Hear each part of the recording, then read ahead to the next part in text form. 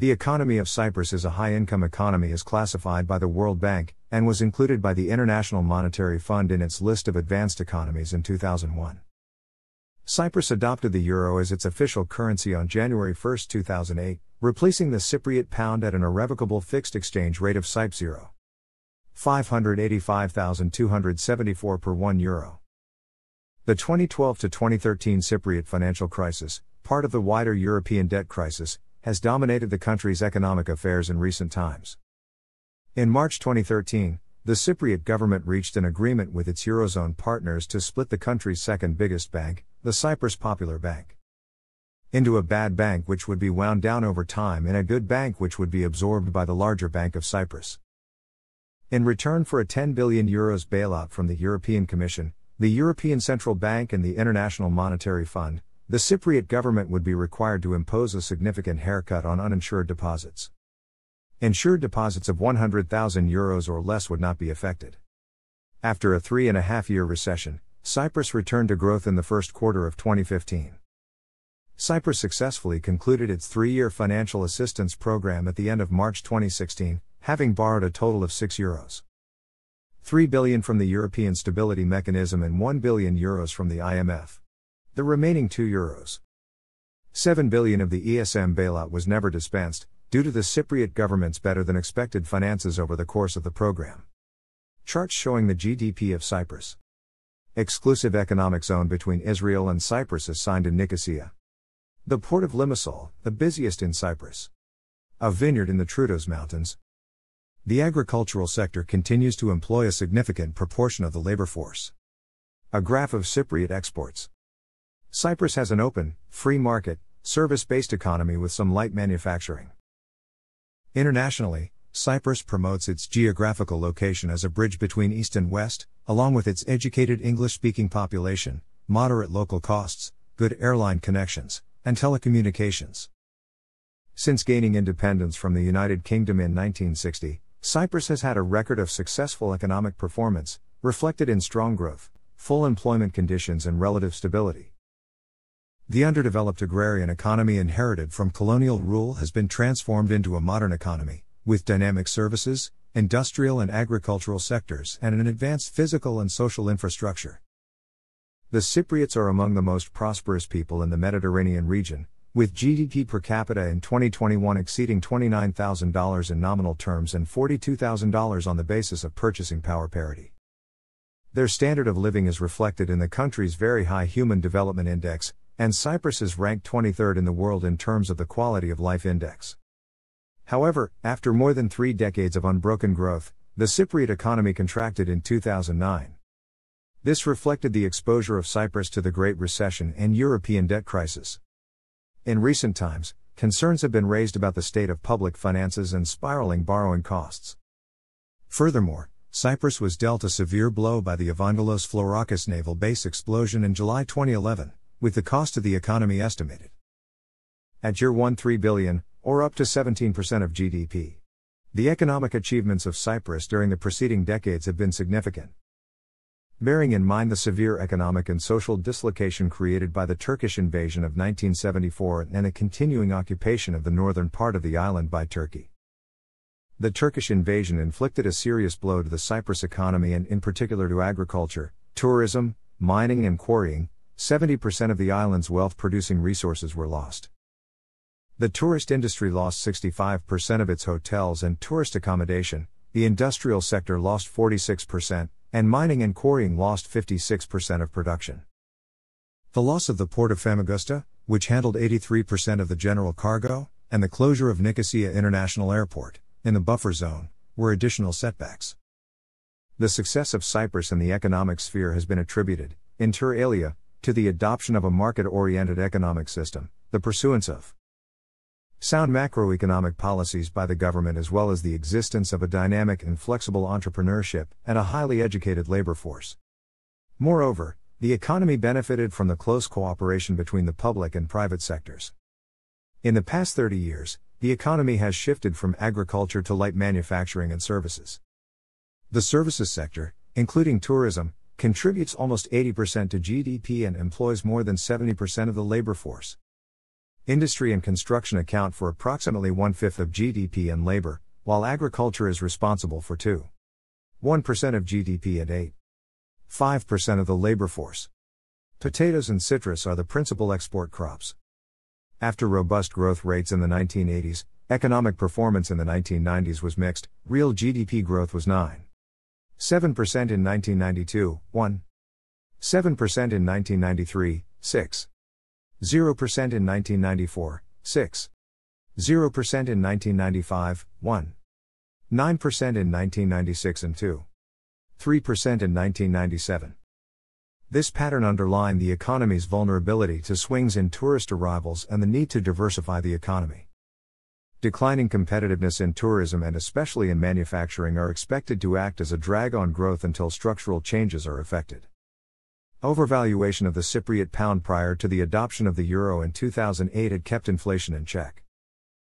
Trade is vital to the Cypriot economy, the island is not self sufficient in food and until the recent offshore gas discoveries had few known natural resources, and the trade deficit continues to grow. Cyprus must import fuels, most raw materials, heavy machinery, and transportation equipment. More than 50% of its trade is with the rest of the European Union, especially Greece and the United Kingdom, while the Middle East receives 20% of exports. In 1991, Cyprus introduced a value added tax, which is at 19% as of January 13, 2014. Cyprus ratified the new World Trade Agreement in 1995 and began implementing it fully on January 1, 1996. EU accession negotiations started on March 31, 1998, and concluded when Cyprus joined the organization as a full member in 2004. The Cyprus legal system is founded on English law, and is therefore familiar to most international financiers. Cyprus's legislation was aligned with EU norms in the period leading up to EU accession in 2004. Restrictions on foreign direct investment were removed, permitting 100% foreign ownership in many cases. Foreign portfolio investment in the Cyprus Stock Exchange was also liberalized. In 2002, a modern, business friendly tax system was put in place with a 12. 5% corporate tax rate, one of the lowest in the EU. Cyprus has concluded treaties on double taxation with more than 40 countries, and, as a member of the Eurozone, has no exchange restrictions. Non residents and foreign investors may freely repatriate proceeds from investments in Cyprus. Bank of Cyprus offices in Eglingia, Nicosia. In the years following the dissolution of the Soviet Union, it gained great popularity as a portal for investment from the West into Russia and Eastern Europe, becoming for companies of that origin the most common tax haven. More recently, there have been increasing investment flows from the West through Cyprus into Asia, particularly China and India, South America, and the Middle East. In addition, businesses from outside the EU use Cyprus as their entry point for investment into Europe. The business services sector remains the fastest growing sector of the economy, and had overtaken all other sectors in importance. SEPA has been fundamental towards this trend. As of 2016, SAI regulates many of the world's biggest brands in retail forex as they generally see it as an efficient way to get an EU operating license and industry know how. Cyprus produced in 2018, in addition to smaller productions of other agricultural products. Surveys suggest more than 100 trillion cubic feet of reserves lie untapped in the eastern Mediterranean basin between Cyprus and Israel, almost equal to the world's total annual consumption of natural gas. In 2011, Noble Energy estimated that a pipeline to Leviathan gas field could be in operation as soon as 2014 or 2015. In January 2012, Noble Energy announced a natural gas field discovery. It attracted Shell, Delek, and Avner as partners. Several production sharing contracts for exploration were signed with international companies, including Eni, KOGAS, Total, ExxonMobil, and Qatar Petroleum. It is necessary to develop infrastructure for landing the gas in Cyprus and for liquefaction for export. Cyprus constitutes one of the largest ship management centers in the world. Around 50 ship management companies and marine related foreign enterprises are conducting there. International activities in the country, while the majority of the largest ship management companies in the world have established fully fledged offices on the island. Its geographical position at the crossroads of three continents and its proximity to the Suez Canal has promoted merchant shipping as an important industry for the island nation. Cyprus has the 10th largest registered fleet in the world, with 1,030 vessels accounting for 31,706,000 DWT as of January 1, 2013. Tourism is an important factor of the island state's economy, culture, and overall brand development. With over 2 million tourist arrivals per year, it is the 40th most popular destination in the world. However, per capita of local population, it ranks 17th. The industry has been honored with various international awards, spanning from the Sustainable Destinations Global Top 100, Vision on Sustainable Tourism, Totem Tourism, and Green Destination titles bestowed to Limassol and Paphos in December 2014. The island beaches have been awarded with 57 blue flags. Cyprus became a full member of the World Tourism Organization when it was created in 1975. According to the World Economic Forum's 2013 Travel and Tourism Competitiveness Index, Cyprus tourism industry ranks 29th in the world in terms of overall competitiveness. In terms of tourism infrastructure, in relation to the tourism industry, Cyprus ranks first in the world. The Cyprus Tourism Organization has a status of a semi governmental organization charged with overseeing the industry practices and promoting the island worldwide. In 2008, fiscal aggregate value of goods and services exported by Cyprus was in the region of $1.53 billion. It primarily exported goods and services such as citrus fruits, cement, potatoes, clothing, and pharmaceuticals. At that same period, total financial value of goods and services imported by Cyprus was about $8. Prominent goods and services imported by Cyprus in 2008 were consumer goods, machinery, petroleum and other lubricants, transport equipment, and intermediate goods. Traditionally, Greece has been a major export and import partner of Cyprus. In fiscal 2007, it amounted for 21.1% of total exports of Cyprus. At that same period, it was responsible for 17. 7% of goods and services imported by Cyprus.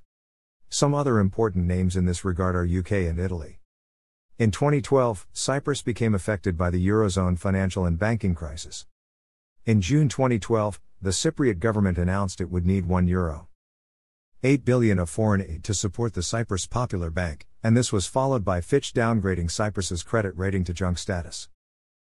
Fitch said Cyprus would need an additional 4 billion euros to support its banks and the downgrade was mainly due to the exposure of Bank of Cyprus, Cyprus Popular Bank and Hellenic Bank to the Greek financial crisis. In June 2012 the Cypriot finance minister, Vassos Shiarly, stated that the European Central Bank, European Commission and IMF officials are to carry out an in depth investigation into Cyprus' economy and banking sector to assess the level of funding it requires. The Ministry of Finance rejected the possibility that Cyprus would be forced to undergo the sweeping austerity measures that have caused turbulence in Greece, but admitted that there would be some negative repercussion. In November 2012, international lenders negotiating a bailout with the Cypriot government have agreed on a key capital ratio for banks and a system for the sector's supervision. Both commercial banks and cooperatives will be overseen by the central bank and the Ministry of Finance. They also set a core Tier 1 ratio, a measure of financial strength, of 9% by the end of 2013 for banks, which could then rise to 10% in 2014. In 2014, Harris Georgiades pointed that exiting the memorandum with the European Troika required a return to the markets. This, he said, required timely, effective, and full implementation of the program. The finance minister stressed the need to implement the Memorandum of Understanding without an additional loan. In 2015, Cyprus was praised by the President of the European Commission for adopting the austerity measures and not hesitating to follow a tough reform program. In 2016, Moody's Investors Service changed its outlook on the Cypriot banking system to positive from stable, reflecting the view that the recovery will restore banks to profitability and improve asset quality. The quick economic recovery was driven by tourism, business services, and increased consumer spending. Creditor confidence was also strengthened, allowing Bank of Cyprus to reduce its emergency liquidity assistance to 2 euros 0 billion. Within the same period, Bank of Cyprus chairman Josef Ackermann urged the European Union to pledge financial support for a permanent solution to the Cyprus dispute. The economy of Turkish occupied northern Cyprus is about one fifth the size of the economy of the government controlled area, while GDP per capita is around half. Because the de facto administration is recognized only by Turkey, it has had much difficulty arranging foreign financing, and foreign firms have hesitated to invest there. The economy mainly revolves around the agricultural sector and government service, which together employ about half of the workforce. The tourism sector also contributes substantially into the economy. Moreover, the small economy has seen some downfalls because the Turkish lira is legal tender. To compensate for the economy's weakness, Turkey has been known to provide significant financial aid. In both parts of the island, water shortage is a growing problem, and several desalination plants are planned. The economic disparity between the two communities is pronounced. Although the economy operates on a free market basis, the lack of private and government investment, shortages of skilled labor and experienced managers, and inflation and the devaluation of the Turkish lira continue to plague the economy. Turkey is by far the main trading partner of northern Cyprus, supplying 55% of imports and absorbing 48% of exports. In a landmark case, the European Court of Justice ruled on July 5, 1994, against the British practice of importing produce from northern Cyprus based on certificates of origin and phytosanitary certificates granted by the de facto authorities. The ECJ decided that only goods bearing certificates of origin from the internationally recognized Republic of Cyprus could be imported by EU member states. The decision resulted in a considerable decrease of Turkish Cypriot exports to the EU, from $36. 4 million in 1993 to $24. 7 million in 1996 and 1996. Even so, the EU continues to be the second largest trading partner of Northern Cyprus, with a 24. 7% share of total imports and 35% share of total exports. The most important exports of northern Cyprus are citrus and dairy products. These are followed by rock, scrap, and clothing. Assistance from Turkey is the mainstay of the Turkish Cypriot economy. Under the latest economic protocol, Turkey has undertaken to provide loans totaling $250 million for the purpose of implementing projects included in the protocol related to public finance, tourism, banking, and privatization. Fluctuation in the Turkish lira, which suffered from hyperinflation every year until its replacement by the Turkish new lira in 2005, exerted downward pressure on the Turkish Cypriot standard of living for many years. The de facto authorities have instituted a free market in foreign exchange and permit residents to hold foreign currency denominated bank accounts. This encourages transfers from Turkish Cypriots living abroad.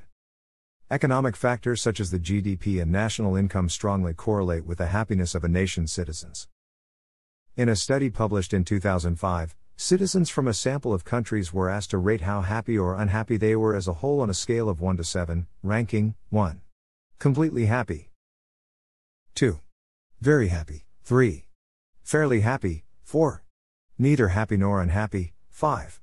Fairly unhappy, 6. Very unhappy, 7. Completely unhappy, Cyprus had a score of 5. 29. On the question of how satisfied citizens were with their main job, Cyprus scored 5. 36 on a scale of 1 to 7, ranking 1. Completely satisfied, 2. Very satisfied, 3. Fairly satisfied, 4. Neither satisfied nor dissatisfied, 5. Fairly dissatisfied, 6. Very dissatisfied, 7. Completely dissatisfied, in another ranking of happiness, Northern Cyprus ranks 58 and Cyprus ranks 61, according to the 2018 World Happiness Report. The report rates 156 countries based on variables including income, healthy life expectancy, social support, freedom, trust, and generosity. Economic factors play a significant role in the general life satisfaction of Cyprus citizens, especially with women who participate in the labor force at a lower rate, work in lower ranks, and work in more public and service sector jobs than the men. Women of different skill sets and differing economic objectives and constraints participate in the tourism industry. Women participate in this industry through jobs like hotel work to serve and or bring pride to their family, not necessarily to satisfy their own selves. In this study, women with income higher than the mean household income reported higher levels of satisfaction with their lives while those with lower income reported the opposite. When asked who they compare themselves with, results showed that those that compared themselves with people of higher economic statuses than them had the lowest level of life satisfaction. While the correlation of income and happiness is positive, it is significantly low, there is stronger correlation between comparison and happiness. This indicates that not only income level but income level in relation to that of others affects their amount of life satisfaction. Classified as a Mediterranean welfare regime, Cyprus has a weak public welfare system. This means there is a strong reliance on the family, instead of the state, for both familial and economic support. Another finding is that being a full time housewife has a stronger negative effect on happiness for women of northern Cyprus than being unemployed. Showing how the combination of gender and the economic factor of participating in the labor force affects life satisfaction. Economic factors also negatively correlate with the happiness levels of those that live in the capital city. Citizens living in the capital express lower levels of happiness. As found in this study, citizens of Cyprus that live in its capital, Nicosia, are significantly less happy than others whether or not socioeconomic variables are controlled for. Another finding was that the young people in the capital are unhappier than the rest of Cyprus, the old are not. Thanks for watching.